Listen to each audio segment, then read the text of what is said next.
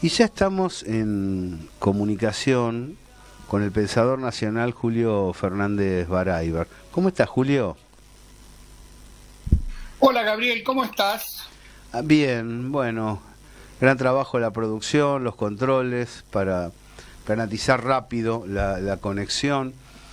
Em, ¿Vos adoctrinás? no, yo no adoctrino, yo trato de expresar mi interpretación del mundo a través de mis, bueno, de mi concepción filosófica este, y trato de explicar el pasado argentino a través de lo que es mi, mi visión de la historia argentina, determinada por los intereses políticos y sociales que hoy en, 2024 trato de defender y expresar. Qué interesante. Eh, esa es la tarea de todo intelectual, por otra parte, mía en este caso, porque me preguntaste a mí, pero todo intelectual que se dedica a este tipo de cosas hace eso, cualquiera sea los bandos en los que esté ascripto. Eh, qué curioso, ¿no? Porque eh, es una respuesta la que acabas de dar. Yo la calificaría de adulta. Es decir, es algo que aquellos que nos movemos con información y conceptos lo sabemos desde hace mucho tiempo. Y sin embargo, aquí aparece un elemento muy fuerte donde el, Estado Nacional plantea que aquel que no tiene una mirada liberal conservadora, estricta de la historia, adoctrina, que solo vale una mirada que además tiene serios problemas para corroborarse, es decir, para evidenciar pruebas, para sostener debates, para plantarse en una discusión mano a mano. la, Argentina, entre 1870, 1860, y yo diría 1960, fue sistemáticamente, y uso aquí el término usado por el gobierno o por su vocero en la conferencia de prensa, adoctrinada sistemáticamente por todas las instituciones, eh, todas las instituciones estatales la concepción histórica de lo que había ocurrido en el siglo XIX a partir del 25 de mayo de 1810, la visión sobre la colonización española anterior a 1810, la idea de la república que se construye a partir de 1880. Eh, el, rol, el rol de los caudillos en, los distritos el rol provinciales. De los caudillos en el siglo XIX, la guerra civil del siglo XIX, todo ese periodo, más una serie de valores más abstractos, como la idea de la república, por ejemplo, eh, son productos de un adoctrinamiento sistemático del Estado sobre sus propios ciudadanos y en el caso específico de la Argentina, sobre los ciudadanos que venían llegando en, cientos de miles de afuera del, país y de afuera de esta historia y que debían ser rápidamente incorporados al proceso histórico social argentino. Y así fue como, como toda la formación de mi generación y las generaciones anteriores este, fueron, eh, creyeron en que Sarmiento nunca había faltado a la escuela, que, que, Mitre era la expresión sublime del pensamiento liberal, este, republicano, que, qué sé yo, que... Y entre otras cosas buenas que también aprendimos gracias a ese adoctrinamiento fue que las Malvinas son argentinas, por ejemplo. Cosa que este, fue incorporada de pleno a la condición de ciudadano argentino. Aquel ciudadano argentino que no acepta o no cree, si se quiere hablar de esta manera, que las Malvinas son argentinas, no merece el título de ciudadano argentino. A tal punto es este adoctrinamiento. Son pamplinas, adoctrinamiento, le llaman las clases dominantes a la concepción del mundo opuesto a sus intereses. Eso es adoctrinamiento. la visión que las clases dominantes imponen sobre el conjunto de la sociedad no es adoctrinamiento en esta, en esta definición, sino que es este, ciencia histórica, ciencias sociales, valores, ética, etcétera. Quiero decir. A partir de 1955, agrego una cosa, Gabriel. A partir de 1955 fue incorporado al programa de, las escuelas secundarias para erradicar al peronismo de la en las materias de instrucción cívica y educación democrática en donde se repetía el caso del primer tirano, que como sabemos fue Juan Manuel de Rosas, y el segundo tirano, que como todo el mundo sabe fue Juan Domingo Perón. Y, fuimos formados, mi generación fue formada en eso, en la escuela primaria y en la escuela secundaria, para no hablar de las escuelas católicas que también adoctrinan y sostienen que hay una persona que nació y resucitó, nació una virgen, resucitó adoctrinamiento es para Adorni, para Milei y para las clases dominantes que hoy están gobernando la Argentina, todo aquel pensamiento que cuestione, se oponga, confronte con el pensamiento de esas clases dominantes. La paradoja de esta situación es que por un lado, si hay una ausencia importante en la educación pública argentina, es la del pensamiento nacional. Seguramente yo no haría una observación a fondo si el pueblo argentino no pudiera ofrecer toda una biblioteca de enormes autores que inclusive han influido zonas externas de nuestra sociedad, con descubrimientos, hallazgos, preludios de lo que iba a ocurrir, como el caso de Alberto Metol Ferré, a quien necesariamente tenemos que considerar como parte de este sur, o Arturo Jaureche. Eh, es muy sencillo descartar eh, aquellos pensadores liberales que pretenden mm, denigrar el pensamiento nacional evidenciado por estos grandes eh, pensadores. Y por otro lado, que escasez de formación desde sus objetores, porque también es cierto que eh, en determinadas eh, expresiones públicas del actual gobierno, de los medios que lo entornan y de varios hombres y mujeres de la educación pública y privada, llevan a que uno sienta vergüenza ajena por el desconocimiento de la propia historia y de los propios autores que ha generado este país. Eso es, digamos, nos gobierna un acto de ignorantes, un acto de ignorantes, una manada de, pequeña manada de ignorantes, de ignorantes, pero de ignorantes completos. Digo, no es que este, no estén de acuerdo con que Rosas defendió la soberanía en la vuelta de obligado. No saben ni qué fue la vuelta de obligado ni quién era Rosas, muy específicamente.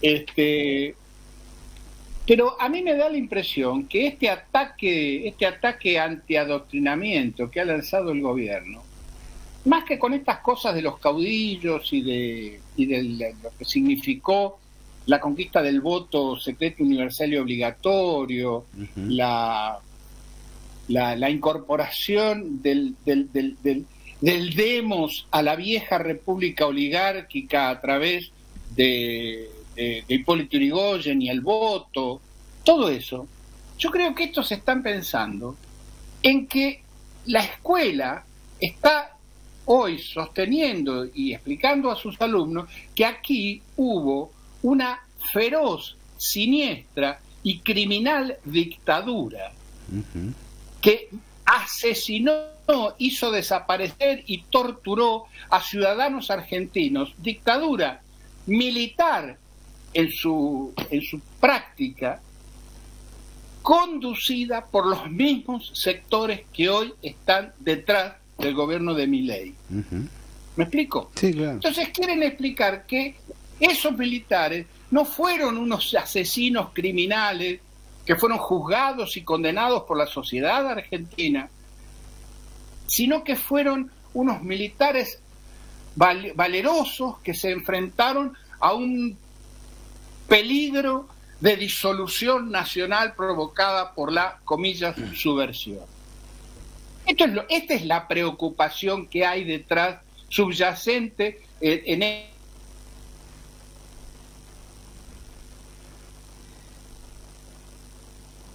Estamos conversando con Julio Fernández Baraybar, hubo un pequeño corte en la transmisión, estábamos en justamente ingresando al tramo más presente de la discusión historiográfica, ¿no? 19 horas, 24 minutos, 20 grados la temperatura, Patria Grande, tratando de ir a fondo sobre uno de los temas candentes del presente.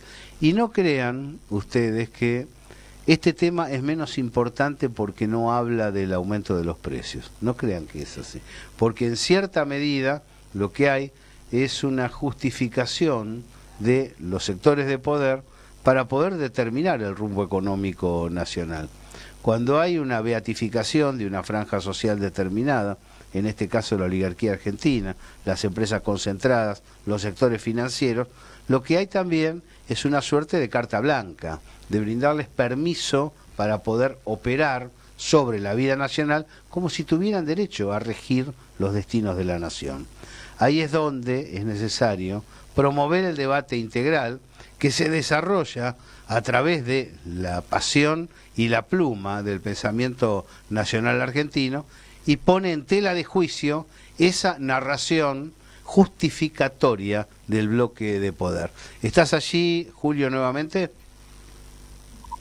Estoy nuevamente, me descongelé. a ver, que no, que no vuelva a pasar, eh, aunque no dependa de nosotros, claramente. Pero eh, quedó claro, ¿no? El intento de fraguar el último tramo de la historia argentina. ¿eh? Mm, dejar de lado la dupla Martínez de Oz, Jorge Rafael Videla. Exactamente, y, Martínez de Oz, Jorge Rafael, y la, y la política, el contenido de la política económica de esa dictadura, este, porque yo estoy convencido, por otra parte, Gabriel, que el contenido político de este gobierno de, de, de es inclusive peor, más grave y más nocivo que el de la dictadura militar.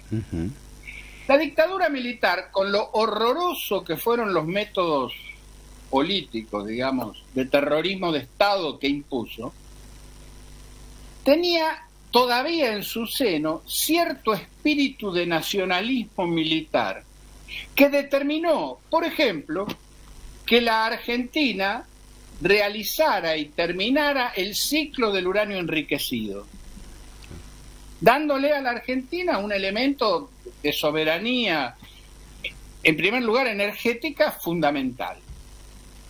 Ese resto de nacionalismo militar que todavía había en la, en la dictadura militar ha desaparecido por completo bajo el gobierno de Milei, a punto tal que han condenado a muerte a la política de energía nuclear, que ha sido una política de Estado de, de 60 años, la han condenado a muerte. Es decir, este, el contenido político, económico del gobierno de Javier Milei es aún más nocivo, más antinacional y pernicioso a nuestros intereses que el de la dictadura militar. Para aquellos que están escuchando, y consideran que determinados aspectos no difundidos de la vida económica nacional no tienen trascendencia, quiero decirle que la Argentina está presentando el RA-10, ¿no? RA-10. Es un reactor de altísima tecnología, de proporciones pequeñas, con una potencia singular. Y en este momento la Comisión Nacional de Energía Atómica está reclamando una deuda equivalente a unos 9 millones de dólares por la construcción de los reactores CAREM, otro equivalente de tamaño reducido y RA10. Es decir, el Estado Nacional ahoga en un momento en que la humanidad busca nuevas tecnologías y formas de energía limpia para poder desarrollar la producción, ahoga financieramente a las creaciones más importantes que este pueblo, sus técnicos, sus obreros, sus empleados, sus investigadores, ha generado, como las que acabamos de mencionar. Efectivamente, esta, esta es la característica esencial de este momento que estamos viviendo. Eh, nos gobierna un, señor que ha sido adoctrinado en el más aberrante e impracticable liberalismo que se haya concebido alguna vez en la historia, este, que deja, que lo convierte a Adam Smith en una especie de estatista totalitario,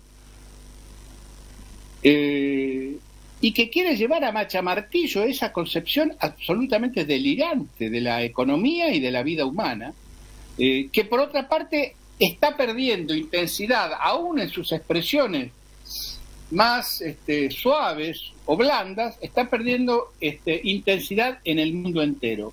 En el, cuando el mundo entero está yendo absolutamente para otro lado, este, sabemos lo que, lo que significa para los Estados Unidos el gobierno de Trump, por ejemplo, este, que es todo lo contrario de lo que el gobierno de Milley expresa en la, en la, en la política argentina. Este, cuando vemos toda la, la, la geografía internacional que vos semana a semana describís con tanto acierto en tu fuente segura, vemos que la Argentina está yendo en contramano, está yendo como el salmón a poner los huevos contra la corriente del río, sin que seamos salmones y que sin, que pongamos huevos, por otra parte. Tal vez un poco salames, porque este, históricamente la Argentina generó una parte de esa idea, ¿no? Lo que hoy es el sendero multipolar es también tercera posición y comunidad organizada. Producto de la producto de la, de la, de la, propia historia política de los argentinos. Es muy curioso, porque Argentina no se merece esto, Gabriel. Digamos, un país, un país que, que tiene un papa, tiene un papa. Sí, sí, Este, tiene, una figura que ha tenido una figura mundial reconocida en el mundo entero como Evita, este, un país que, que, que, tiene, que tiene energía nuclear, este, que tiene el ARSAT, que tiene las capacidades este, científico-tecnológicas que tiene y el desarrollo de sus universidades y de su inteligencia colectiva, la verdad que no se merece un gobierno que tiende a hacer desaparecer y aplastar todo tipo de expresión eh, de expresión intelectual que, que no sirva al interés concentrado del capital financiero. Esta, esta es la cuestión. que no se va... que no sea de utilidad completamente, al capital financiero. Completamente de acuerdo, Julio. ¿Esto se va a resolver? ¿Cómo lo percibís? Ingresando ya en la difícil predicción de los tiempos por venir. Hasta ahora hemos analizado un presente y una historia. No es fácil determinar el rumbo. ¿Cómo lo ves? Mira, yo sigo insistiendo en el papel, en el papel central y decisivo que ha tenido, que ha, que ha obtenido el movimiento obrero en toda esta en toda esta situación, en esta nueva situación a partir del 10 de diciembre. Ayer lo veía en televisión a, a Pablo Moyano, y la verdad que uno se reconforta escuchando a Pablo Moyano este, como expresión general como expresión de un sector muy importante del movimiento obrero, porque hay ahí todavía un núcleo de resistencia nacional y de resistencia popular muy fuerte a toda esta política de aniquilamiento. Eh, el movimiento obrero se está, está actuando con una gigantesca prudencia política. Y cuando digo prudencia política no estoy diciendo está actuando con cuidado, cuidadosamente. Está actuando sabiamente en términos políticos. Este, y creo que la, la resolución básica de esta encrucijada en que nos encontramos los argentinos tiene que venir de la mano empujada y eh, orientada por ese sector, por la clase trabajadora, el movimiento obrero organizado sindicalmente y los políticos que logren expresar el sentido de esa el sentido de esa fuerza.